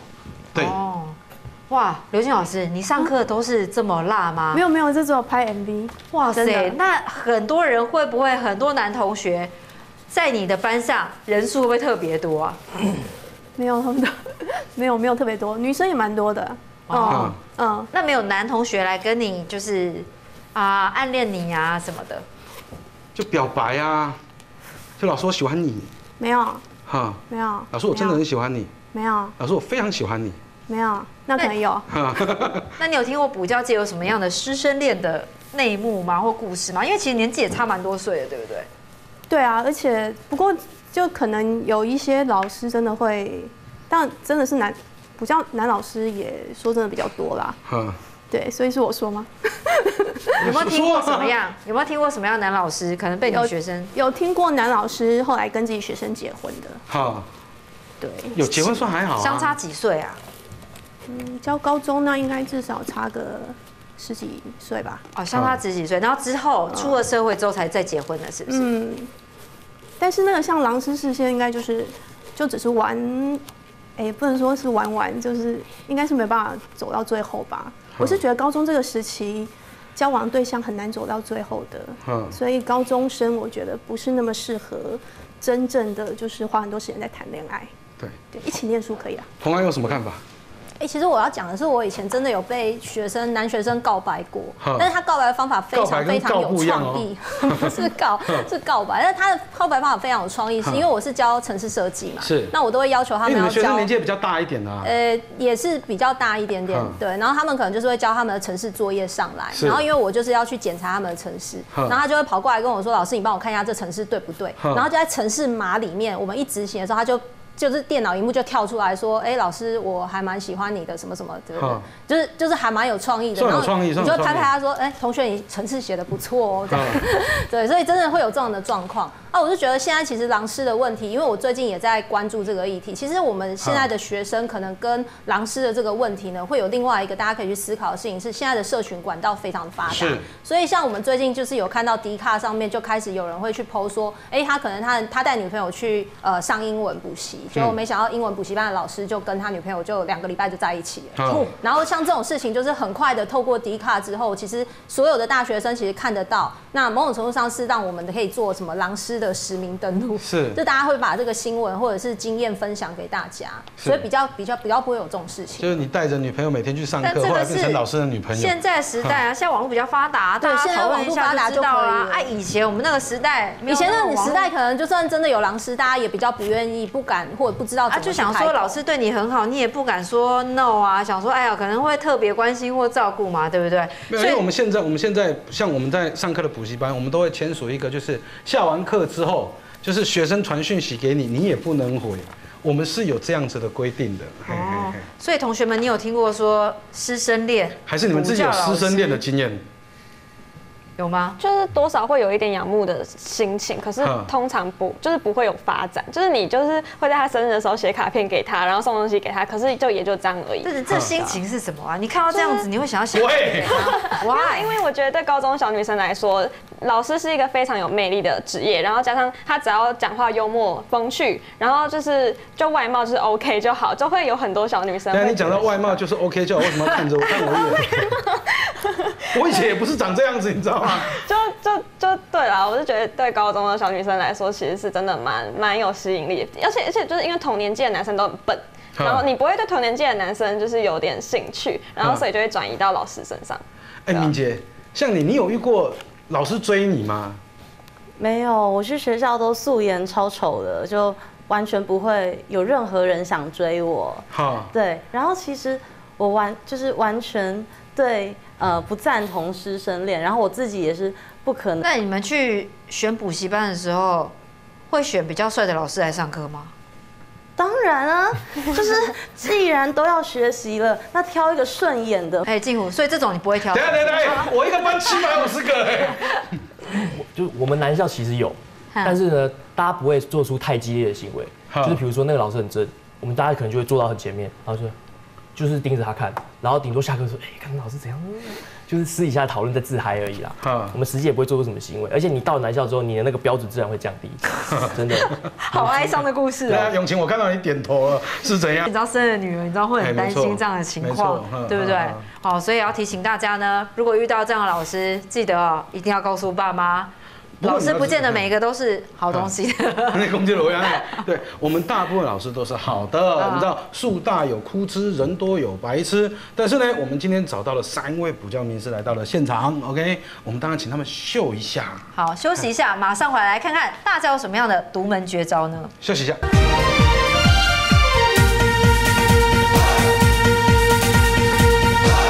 有一天晚上，我睡不着，那睡不着，我就起来打开电视，转到我最喜欢的频道，我转到了 Discovery，OK，、我转到了 Discovery，来 Discovery 那天在做什么？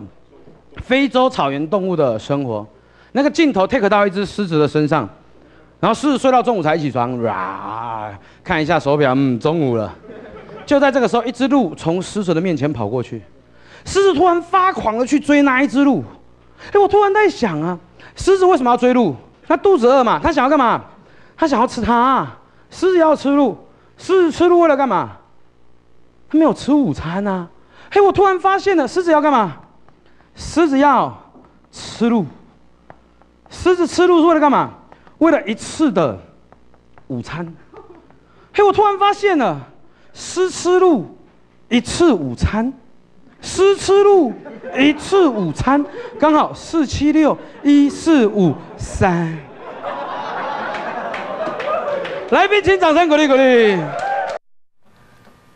吃来宾请掌声鼓励鼓励。吃路午餐，哎，热情一点好不好？这样就可以教书吗？哎，开玩笑，这是精华哎哎、。我们刚刚看到那个七年前影片，感觉起来吕教老师这七年来过得不是太好。好了，我们来调查一下。成长。不是，哎、同学们，看到老师这样子的演出，你们还会继续缴报名费的圈叉？喂，你看是不是？我们大家有志一同。我跟你讲啊，刚才是举金塞好的，哪有说所有人都要拿叉，对不对？他们是真心话，好不好？来来，我们重来一次，我们重来一次。你觉得这个你会继续缴报名费？你这很爱你们都是社会组的都是社会组的哦。那请举牌。好，卖你一个面子，OK，好好，我们欢迎吕教老师。不是新闻不能用 C 的，你知道吗？我们是专业、品质、正能量的电视台哦你不能用 C 的啊。那你嗯那你当年那个有没有一些什么绝活啊，在教课方面？没有，我们我们我们的举手投足都是个绝活，光是一个眼神，学生就会专心。哦，这样就可以专心，是不是？你给讲哎，来啦！我跟你讲，我们今天真的请到了我们这个啊台湾的物理天王朱老师，还有美女老师刘静，还有呢我们说从补教业转战政坛的我们的高红安，我们请他来秀两招。老师有没有办法招生，就看到喽。朱老师。这个首先天王不敢当了嗯，对，那因为物理的架构比较庞大，嗯就是可能要学了好几年才会有一点点这个成就。那今天就简单的做个实验，物理就是一切事物的道理，所以我们也不需要太复杂的教具。好，我手边只有一个比较厚的这个什么呃 A4 纸影印纸 A4 纸，对，那一个卫生纸，那我把它们同时的释放。OK，那可以很明显看到它掉落的比较快，为什么这个书掉的比较快？为什么书掉比较快？好，台大同学回答因。为比较重啊。比较重。对，好，尹正回答。比较重。其实他们的答案是标准答案的、就是呃一千呃两千多年前亚里士多德也是这样认为老。师，我要退钱。这个答案我也马摘啊，当然它比较重啦，不然呢？先听后续。哦，对对，那其实比较重的东西掉的比较快是有原因的，因为空气阻力的关系。呃，因为空气阻力它有个特性啊，会随着速度的增加而增加，所以这个东西嘞，它在自由释放的过程中，其实空气的阻力会同时出现。那它本身的重量比较大，所以它的一开始加速的过程中速度增加，那空气阻力会随之增加。可是空气阻力呢也不会无限制的增加，它会一直增加、增加、增加到跟这个物体的重量一样大为止。好，这是个简单的逻辑。一开始它加速嘛，那加速的时候，一开始阻力比较小，所以它速度增加比较快。那速度增加的过程，阻力是不是同时也增加？那重力跟阻力方向是相反的。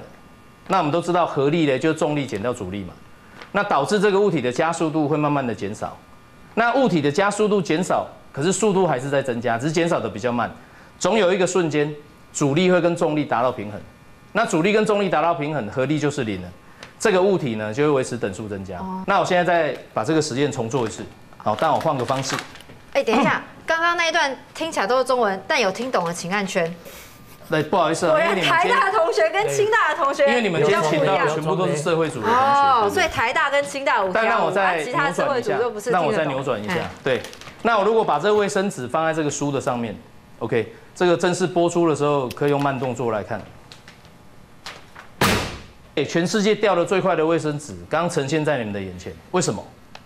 就能同时掉下来。你眼睛现在瞪得比我还要大颗哎。你当初应该来上我的课，你就不会继续选社会组。那个哦，那个挡住了哦。哪个？哪个挡住？阻力。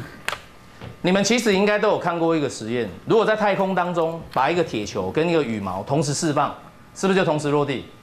因为没有空气阻力的存在的话，这个物体嘞就会以重力加速度的加速度一直持续的加速，跟它本身的重量就没有关系。所以我刚刚把这个卫生纸放在这本书的上面，其实阻力都是这本书在承受。掌声鼓励。是是是，谢谢。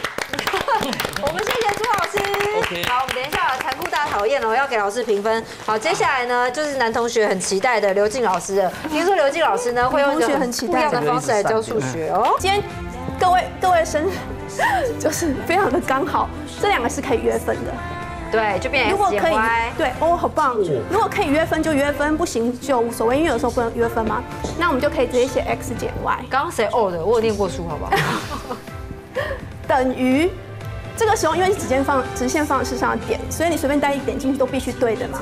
所以随便选一个点带入，谁？姓胡傲天。呃，十。好，十跟十四，那我们就带十，十四就会变十减十四，四负四，这就是直线方程式了。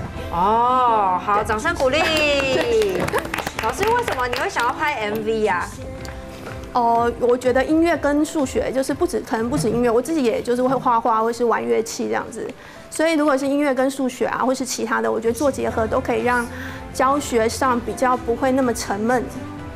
然后会比较有趣，有很多的漏洞存在。老师，什么叫速解法？就是比如说，呸呸呸，两秒答案出来；呸呸呸，三秒答案出来；呸呸呸呸呸呸呸，日本人走出来了。OK 啊，那我们这么说哈，这边会剪掉，这边会剪掉。为什么会走出来呢？老师，所有的速解法就拿很快，可能三秒五秒。这一题你就解出答案了，但我们必须得承认哦，数解法它是针对某一种题型，或者是针对某一种方程式，它是有漏洞的。但是这对学生在学习的过程当中，他会发现很迅速、很快、很好用。我们就举个最简单的例子，在座都是社会组的嘛，来，我们说呢，我们在历史考试里面有一段很重要，叫民政。就是在台湾郑家时期，来郑家在台湾分三代嘛，哪三代？郑成功、郑经跟郑克爽。那我常跟学生讲哦，郑成功没成功，郑经不震惊，郑克爽很不爽嘛。来，郑成功来台湾呢，其实只有四个多月他就端一端了，所以他们做很多事情没有。来，进入郑成功来台湾，来到台湾只做几件事情？几件？三件。大声一点，几件？三件。两件。OK，来拿两件。来，第一，他划分台湾的行政区，所谓的一府、二一府。二线嘛，来府承天府县、天心县跟万年县。刚刚谁差点回答一府二路三艋甲的？来第一个，他在台湾划分行政区嘛。来第二个，郑成功还做了什么事情？他带着三十万军民同胞来到台湾嘛。那来到台湾之后，台湾当时农民很少，所以民以食为天，他只好叫军队自己去种田。所以他做的第二件事情叫做军军屯。OK OK，来郑成功他就挂了，所以郑成功没有来过台北。好，之前有人说郑成功来过台北，我都想问他坐高铁上来的吗？OK，来再来嘞，郑成功挂掉之后，由郑经继位。来，郑经不郑经，但是你不要小看郑经，郑经是台湾郑家三代里面做最多事的，因为他来台湾最久。台湾的经济命脉在哪里？在贸易。所以郑经呢，第一个他恢复台湾的海上海上贸易。那我们说呢，往北找到谁？日本。往南呢？进入所谓的南洋群岛，当时整个南洋都是我们的贸易场，海上呢又找到英国愿意跟我们做生意，但是问题来了，他们两个互设商馆，但是成效不彰啊，放弃中国大陆了吗？没有嘛，大陆毕竟离距我们最近嘛。但是当时大陆要不要跟你做生意？没有，为什么？康熙当时呢颁布所谓的迁界禁海，沿海三十里片甲不得入水，但是我们还是可以跟他进行走私贸易，门对门，金门对。厦门不是前门对后门，那是警卫。OK，来我们说来第一个嘞，震惊恢复了台湾的海上贸易嘛。来再来呢，震惊做了什么事情？正所谓汉文化移民来台就是震惊，包括我们说在台湾办科举，再来嘞盖孔庙也是震惊。来第三类，震惊还做了什么事情？来趁今趁着中国大陆爆发三藩之乱时出兵中国大陆。来最后嘞，最后嘞，震惊嘞在台湾盖了我们所谓的全台所学的孔庙。来，当然震惊做了很多事情。问题来了，震惊呢他这继位嘞，总共在十几年之后他也挂了，换谁继位？换郑克，郑克爽。来，郑克爽很不很不爽，为什么？因为郑克爽呢没多久之后他就亡国了。但是你不要小看郑克爽，郑克爽做了台湾郑家最重要的一件事情，哪一件？投降。来，双方经历了最后一场澎湖海战。来，澎湖海战，中国大陆派出了施琅先发主投，台湾派出了刘国轩应战。六局上半，刘国轩一颗偏高的直球被打到全垒打墙外，台湾被提前结束比赛。来，如果你去考试的时候呢，我们说台湾郑家考题通常有两种，第一个就举了一个人问你他做了什么事情，第二个举了一件事情问你是谁做的。A. 郑成功，B. 郑金熙郑克爽，D. 郑弘仪，有没有？OK。那另外呢就是举了一个人，什么关系啊？跟红一哥为了凑选项，OK。那另外呢就是举了一个人问他做了什么事情。那这种题目通常在考学测的时候，学生是最讨厌的，因为学测没有复选题，可这种叫类复选题，就是 A 啊这个啊 A。甲乙丙 B 乙丙丁 C A B C D 阿尔法贝塔伽马那一种，那这种题目如果你要拿到分数，你是不是全部都要会？嗯，对不对？对不对？那如果这样，你就不用花钱来上吕杰的历史课了。我们只要画两条线，答案就出来了。来，郑成功只做几件事情，两件划分行政区跟军屯。郑克爽只做一件投降，其他通通丢给郑经。安内一下不？恢复海上贸易，震惊；跑到日本去贸贸，震惊；跑到南洋去，震惊；跟英国做贸易，震惊。聘请掌声鼓励。呃，讲好快。好，刚刚对于这个吕杰内容，你会觉得怎么样呢？镜湖讲太快了，讲太快，听不到。同学，哎，同学，曹操，曹操非常喜欢关羽的，就是纵虎。那不是这一段呐。龟山吗？龟山哪里知道？桃园哦。OK，OK。哎，还不错哎，他把你的套路都学起来了。老师教的好不好？问同学最准了。同学们来，请写下真实的答案。你喜欢哪个老师的教法呢？有一些讲废话的老师，你喜欢吗？好，有真的教到重点吗？请大家一起写出来。好，你喜欢哪个老师？那哪个老师呢？让你觉得花钱是花的值得的呢？好，请翻过来，吕杰，吕杰，吕杰，哎，给你面子是不是？没有，我们刚才有 say 好的。啊，但我们要平反一下啊。所以呢，刘健老师、朱元健老师，你们要平反一下，怎么样？有输他吗？其实我们今天来这录这场影，先天的优势就输了，因为在座都社会组的同学。刘健老师，我其实对同学们就是的评分没有没有什么太大意见，主要是我觉得像数解这件事情到底有有没有必要存在，主要是因为呃，就像我们背公式一样，我们证明了很多，然后最后把结论背起来，为什么要背公式呢？因为这公式太常使用了。没错。那所以数解的存在也是就有点像是公式，我们把。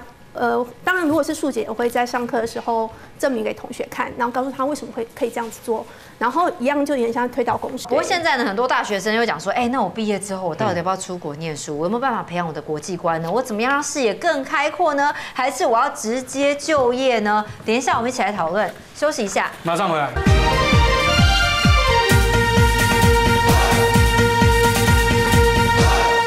哎，我念完大学之后，我到底要不要出国呢？我们来看到很多科技的人才，其实有分海归派跟本土派，就是海归跟土鸡啊。你到底要不要出国呢？我们就来看一下。其实呢，很多科技业界呢就分了两派。大家都知道呢，这个曹新成呢，好就是这个呃本土派的部分。那可能这个张忠张忠谋呢，他就是海归派的部分。那当然呢，现在很多人就说啊，我们各自有所发展啊。那到底哪一派比较好呢？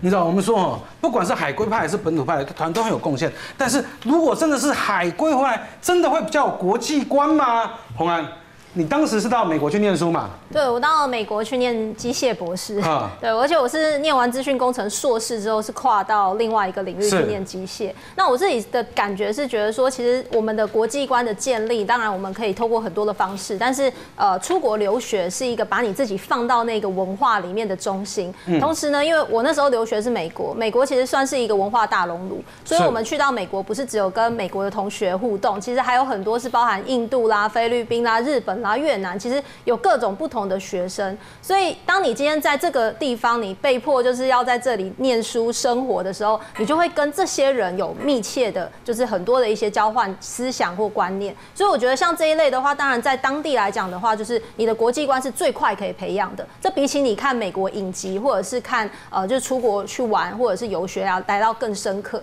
那当然，我觉得第二个对台湾一个很重要的未来的观点是在于人脉的建立。是因为像我自己去美国念书的时候，因为我当时呃包含念托福或者是 GRE 的时候，其实我就发现我们补习班老师都跟我们说，哇，现在学生都不太爱出国。嗯，所以呢，我们到了美国之后，其实我们美国机械的老师也跟我们讲说，以前台湾的学生比例是高的，但是最近几年开始，台湾的学生越来越少，像机械系就只有我一个，所以他那时候就说，如果未来这些台湾在美国的这些人脉都不见的时候，那其实对于台湾的竞争力是有点落差的。所以我觉得也不是说海归派、本土派哪一派比较好，而是我觉得两派其实都要并进。比如海归的部分，可能在国外留学，如果有越来越多的台湾的学生愿意往国外去呃念书啊、生活，甚至到最后愿意回到台湾来贡献，我觉得都是很好的就。比如说你现在，呃，学生跟你讲他想去中国念书，想去拿中国学历，然后跟，啊，他有选择的话，如果要去中国或者去美国念书，或者去日本念，你会建议他去哪里？回答可能会不一样。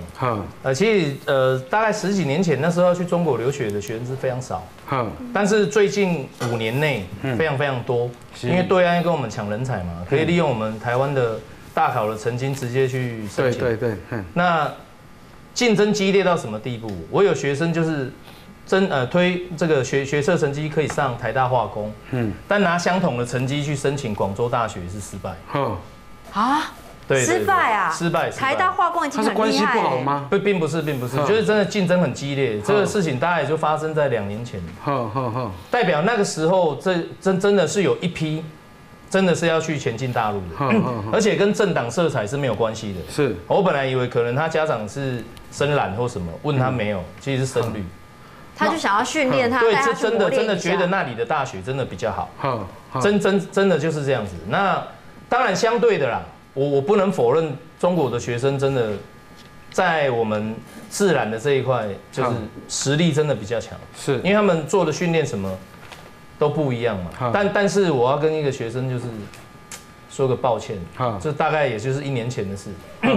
他就是同时申请到台大电机哼跟香港理工大学，哼那来问我，哼我强烈的建议他去香港理工大学。哼，然后就遇到反送中加疫对对，情，一去就遇到反送中，那后来又是疫情的，就他又回来了吗？对，又回来了，那等于是一切都要从头再啊，来。你害他白白走一圈是不是？对，就真的很不好意思。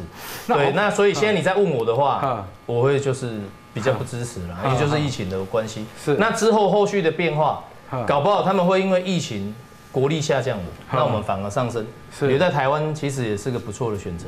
那红安，像你拿你拿美国的学历啊，你会建议，比如说呃，可能是比如你们家族你的表弟啦、堂弟、堂弟、堂妹之类的，到中国去念书，还是到美国去念书？就撇开政治嘛，哈。嗯撇开政治，撇开政治政治的讲的话，还有就是疫情的问题，这两件事情如果先拿开来看的话，其实对我来讲，其实中国的留学跟呃不管欧美留学，或者甚至像刚刚讲东南亚留学，其实我觉得都各有各的好处。是我们不要说看中国，好像大家很怕被统一，或者是很怕过去就被思想武装。可是如果你仔细去看的话，其实中国的留学生来讲，有一个好处是说，其实在语言跟文化上来讲，对于这个留学生来说，他到那边的时候，他比较不会有一个马上被丢到一个很陌生又要完全英语环境的一个情况下，所以也许有一些留学生他的选择会是在中国是他可能相对来讲比较负担得起，而且对他来讲这外语能力可能不是要求这么高的情况。那第二个有一个好处是说，其实中国的这个大学呢，其实它的竞争是相当激烈的。是所以你如果看那个什么北上广深啊，然后比如说像是呃清大或者是像上海交大，其实那里面的人才也是一万中选一，就是你知道这是中国人口如此大大，如此的多，那大家选出来的在这个环境里面的，肯定他的这个精英的人才比例是相对很高。所以像我们以资讯来讲的话，像 AI 或者机器学习，我们在全球的这个国际的 conference 论文里面，其实中国的论文的比例已经算是蛮前面，就 impact factor 高的，其实中国的产出也是高的。所以如果你以这样的举例来说的话，其实你看中国留学也不失为一个选项。但我要讲的是说，当然政治跟疫情撇除的情况下，如果学生来跟我讲，我一定会把我想要就是我认识的中国的留学告诉他，所以其实你也是可以考虑，只是要注意哪些事情。好，当然呢，这个未来呢还很长远哦。我们也要想说，哎，有没有给自己一段话呢？跟老师要给未来的孩子什么样的话呢？好，傲天要给自己什么样一段话？跟现在年轻人，我觉得就是趁着自己还有能力跟时间的时候，多多发掘自己喜欢什么东西，然后不要害怕犯错跟累积自己的生命经验。就我觉得每一个生命经验都蛮可贵，然后你犯了错也不代表你这个人就失败，而是你今天犯了一个错之后，你怎么去诠释这段错误，然后借由这段错误去成长，这才是一个最重要的养分。永清嗯，简单一点就是把握机会，就是不要怕，有勇敢一点去做。就是坚持跟不要脸，跟坚持不要脸。对，坚持不要坚持不要脸很重要。那因为我们现在还是学生嘛，还有犯错的机会。对，那现在好好累积经验跟嗯培养那些技能，那出社会之后就比较好衔接这样子。镜湖呢？我觉得现在就是做你想做的事，趁你还有年少轻狂的本钱的时候，尽量年少轻狂，好不好？未来的事，未来再来烦恼。你怎么那么老成啊？尹真呢？呃，因为我花了蛮多时间谈恋爱上，所以我就觉得我想要告诉大家，就是不要被恋爱耽误你自己真正想做的事没情。对，就是想做什么就去，然后不要管它，不要被恋爱耽误了，真的。好，那敏杰呢？嗯多看看，趁自己还有年轻的体力的时候，多往前走几步，多学习。哇现在孩子那么老成啊？那老师们，林老师，你有什么什么话给学生？我觉得就是大家要跟自己比较，也不要羡慕别人家里，比如说很有钱，资源很多，或者是呃怎么这个好像没在念书就考一百分之类的。对我觉得就是即使你不是天才，那就当地才，哈，对，保持正能量。朱老师，嗯，就我的观察，现在的学生真的就是因为，呃，资讯太丰富，反而他们失去了焦点。嗯，我想奉劝现在学生，就是敬业是非常重要的。是，你当一个学生，你的职业其实就是学生，嗯，要很敬业的去面对这一块，嗯，克服你所有外来的诱惑，把大部分的精力放在课业上面，好，培植自己的实力，这才最重要。纵使你不知道往后你要走什么样的路，你的目标是什么，先让自己有实力，以免机会来的时候你抓不住。洪安委员歪楼歪人生歪楼的始祖这样。跟跟大家讲一下，就是有什么话给现在年轻的孩子，正在读大学这些零零后？呃，我觉得对于现在的孩子来说，其实他们的未来是非常艰巨的。为什么我这样讲？因为其实未来一定会是很多跨领域的技能要集于一身。你今天可能是一个专业，以前我们就吃得通，可是现在已经是拍型，甚至是更多斜杠的人生。所以其实我觉得在学生时代有一个很重要的事情，就是非常的奢侈，你可以去探索很多事情。是在探索的过程当中，找到自己的兴趣跟专长。兴趣就是像比如说，呃，胖虎要开演唱会，你今天就是你开演唱会的时候，大家都不愿意来，可是你还是很爱现唱歌。我那时候讲到胖虎的时候，又看了我一眼。没有，还有一个是专长，专长就是呢，像今天你今天就比如说吕杰老师讲课，哎，大家就愿意付钱请他来讲话，这样这就是专长。所以你们要去努力的探索，去找到专长跟兴趣最好能够结合，那这是你的人生的幸福方程式。那学生时代是最适合做这件事情的。是，正所谓恋爱是好事。读书是正事，不要因为好事坏了你的正事。但如果好事跟坏事你都可以兼啊，好事跟正事你都可以兼顾，你是上等人。而当好事跟正事你没办法兼顾的时候呢，选择就是一种智慧。好，所以不要说，哎呀，现在这一代的孩子很幸福，你不是现在这一代的孩子，所以你不晓得他们在想些什么，没错你也没有要帮他们走他们要走的路。所以呢，接下来所有的年轻孩子们，勇敢的往前走，找到你们自己想要的，不要后悔说，哎呀，我那个时候谈恋爱啊，我那个时候啊，哎呀，花了太多心思在哪里？不要怕，因为呢，每一步都是你接下来未来人生的养分。没有一条路是白走的，上帝关起你一扇门，他就会帮你开一扇窗。只是上帝常常开开关关，开开关关，开开关关，你也不知道他选什么。但是所有的安排都是最好的安排。没错，蓝杰新闻。我们明天见。谢谢，谢谢谢谢谢谢谢谢谢谢谢谢谢谢谢谢谢谢，辛苦了辛苦了辛苦了辛苦了辛苦了辛苦了辛苦了。